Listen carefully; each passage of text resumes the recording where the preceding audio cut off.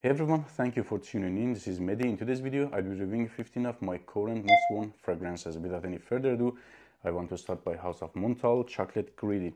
It is more about vanilla. It is not that promising in terms of chocolate like the name, Chocolate Greedy. You're gonna get more vanilla here. Smells like, I would say, freshly baked cake, steaming cake with some sort of orange zesty jammy feel for sure you're gonna get some chocolate notes at the background of the fragrance but it is not as promising as the name chocolate greedy at least to my nose less like 7 to 8 hours plus in terms of longevity and projection and sillage soft for first hour hour and a half maximum.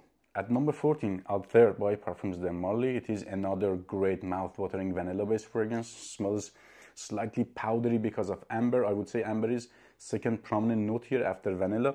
And some sort of spicy cardamom vibes at the top of the fragrance. Cardamom is not that prominent here, for example, like Percival or Layton. It is just available, gives a touch, a kick to fragrance for first hour, I would say. And at the dry down, shines more. It is like woody, synthetic, slightly powdery with ton of vanilla, let's say, to this fragrance. Lasts on me solid 12 hours plus with 2 3 hours. Great projection and sillage. At number 13, Valentino Born in Roma Intense. It is a modern and sexy fragrance. It is sweet, uh, semi-unique, let's say, has a familiar scent profile with some twists, let's say. It is nothing new, wow here, but smells definitely sexy. Fruity at the top, and somehow there is some lavendery green notes at the bitfins, let's say, which is not available that much at the dry down of the fragrance. At the dry down is like sweet and woody without that green feel. It definitely gets compliments, but it is not a compliment magnet. I would say like 6 out of 10 in terms of compliments last only like 7 to 8 hours plus in terms of longevity with 2 hours of average projection and sillage. At number 12, Code EDP by Giorgio Armani. It is very close to EDT version. I would say EDT version is more crowded and busier compared to this one. This one is like flatter version of that fragrance, but definitely denser and bolder. It is like longer lasting version of that fragrance without being that much crowded. Smells sweet and somehow dark and I prefer it for night times definitely has that weight to it and it is pretty unique it smells different compared to like 90% of my collection and I like that suede feel at the base of the fragrance it is somehow like leathery suede I can get 8 hours plus in terms of longevity with 2 hours of good projection and sillage.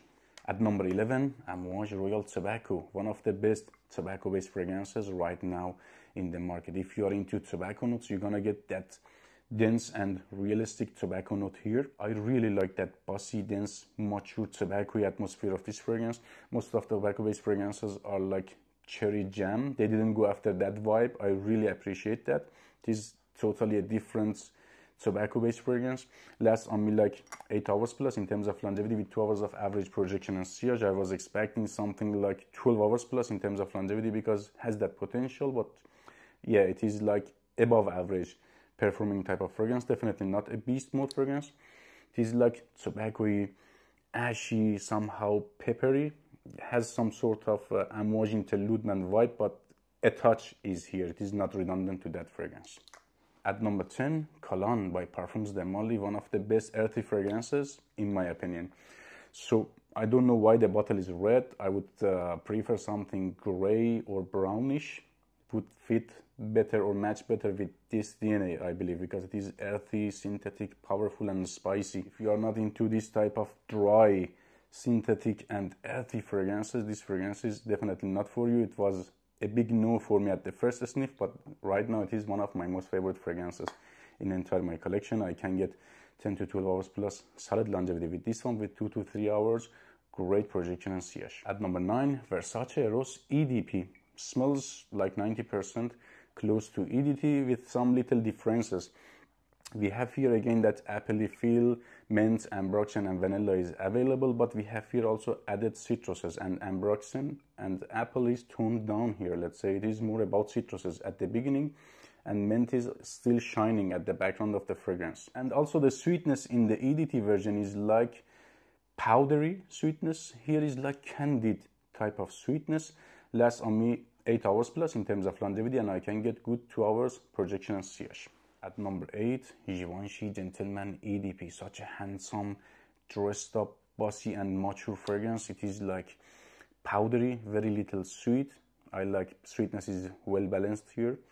Leathery, very little spicy and boozy. Imagine Bentley for Men Intense with Dior Homme Intense together. You can get both of those vibes. I prefer it for night times. Definitely smells dressed up and classy. I can get 7 hours plus in terms of longevity with this one and 2 hours average projection and sillage. At number 7 from House of Mancera, Oud Vanille. Definitely at top 5 best Mancera fragrances in my opinion highly underrated fragrance. I believe deserves more love and talk. It is a dark vanilla based fragrance, smells burnt. It is not a pinkish, powdery type of vanilla, a girlish type of vanilla. It is brown, smoky, and masculine type of vanilla based fragrance, at least to my nose.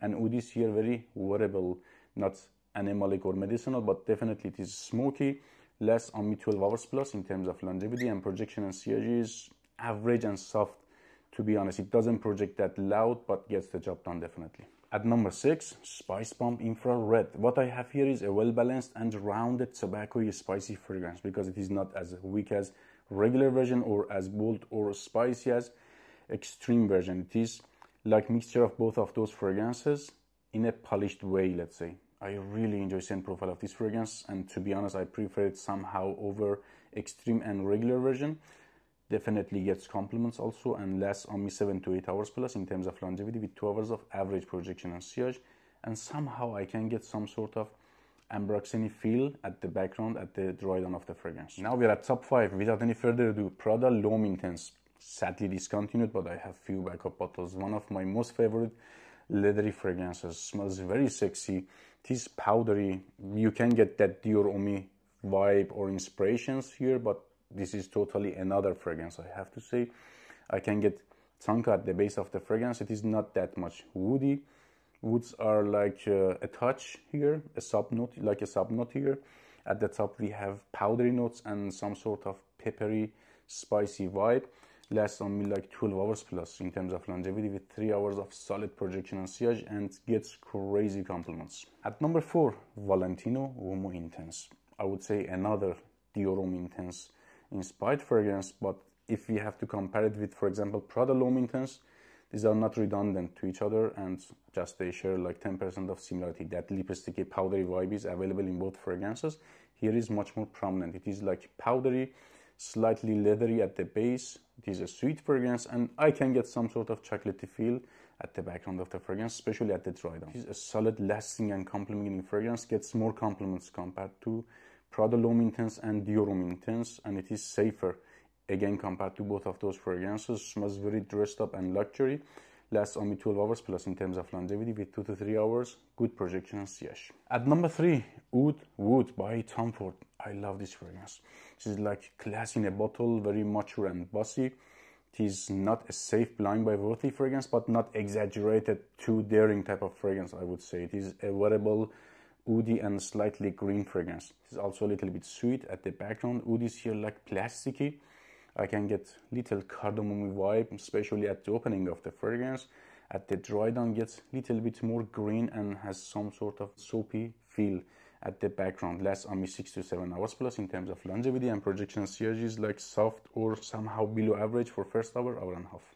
At number two, Le Male Le Parfum, a 10 out of 10 masterpiece compliment monster fragrance from House of Jean Paul Gaultier. I really enjoy this fragrance. It is not a juvenile fragrance at all, for example, like Ultra Male or too classy or outdated like regular version like Le Male, but has that backbone of Le Male here because it is herbal like that fragrance. Lavender is still prominent here, but we have here added powderiness and it is sweeter and way more modern compared to the regular version. It is definitely a top 10 most complimented fragrances in entire my collection, has a strong character and smells very memorable, lasts only 10 to 12 hours plus with 3 hours of great projection and sillage. At number 1, from House of Dior, Dior Sauvage EDP. It is enough fresh for spring and summer and has enough weight for fall and winter, I have to say. A 10 out of 10 all occasion, all season type of fragrance. Smells citrusy, ambroxan is again here, and that lavendery backbone is available with added some sort of soapiness compared to the regular Sauvage, and it is slightly resiny. Lasts only 12 hours plus in terms of longevity with 2-3 hours, good projection and sillage, and you know, a compliment monster. Take care, guys.